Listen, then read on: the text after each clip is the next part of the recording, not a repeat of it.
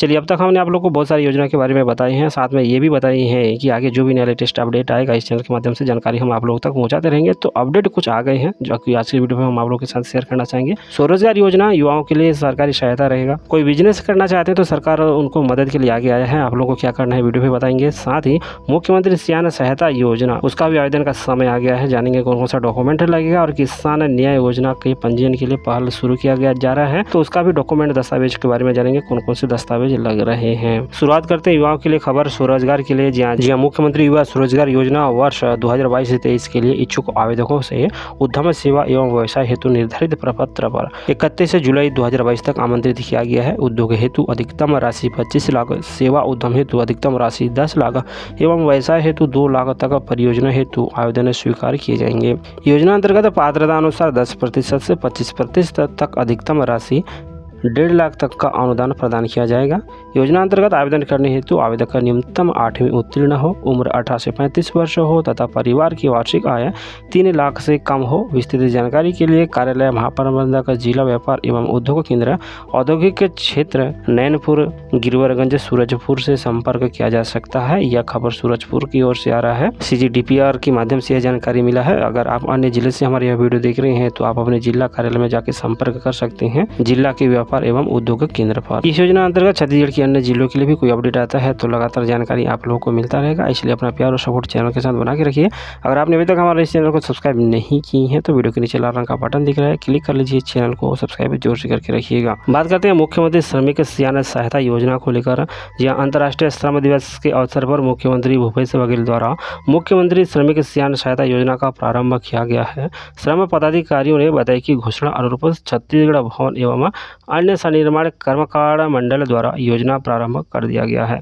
उन्होंने बताया कि संचालित योजना के तहत पंजीकृत उनसठ से साठ वर्ष के श्रमिकों को दस हज़ार रुपये सहायता एक मुश्त दी होगी। योजना के लाभ हेतु हृदय को कम से कम विगत तीन वर्ष के निर्माण श्रमिक आवश्यक दस्तावेज़, हितग्राही के जीवित श्रमिक पंजीयन कार्ड की मूल प्रति आधार कार्ड की मूल प्रति बैंक पासबुक की मूल प्रति हितग्राही द्वारा स्वघोषणा प्रमाण पत्र की एक प्रति के साथ ऑनलाइन लोक सेवा केंद्र सीएससी वैली अथवा श्रम विभाग में आवेदन कर सकते हैं।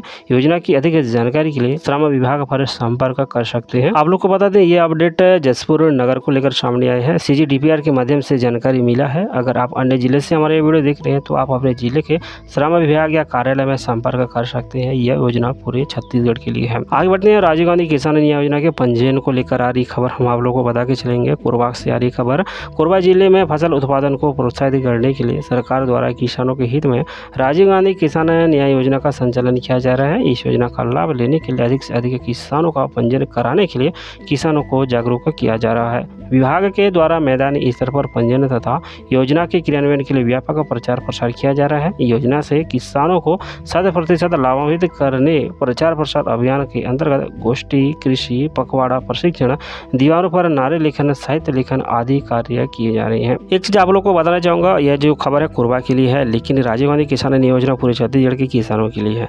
इसलिए यह वीडियो आप लोगों के लिए जानना ज़रूरी है कि कौन कौन सा डॉक्यूमेंट आप लोग को लगेंगे। किसानों को पंजीयन के लिए आवश्यक दस्तावेज़ जैसे ऋण पुस्तिका बी आधार नंबर, बैंक पासबुक की छह प्रति के साथ निर्धारित प्रपत्र में आवेदन जमा करना होगा। राजीव गांधी किसान न्याय योजना। अंतर्गत शासन द्वारा किसानों के पंजीयन के लिए ग्रामीण कृषि तथा उद्यानिकी विस्तार अधिकारी द्वारा प्रचार प्रसार कर पंजीयन के लिए प्रोत्साहित किया जा रहा है। आप लोग को बता दें, किसान भाइयों, यह कोरबा ज़िले की खबर है। किसानों को जागरूक किया जा रहा है। योजना की जानकारी दी जा रही है।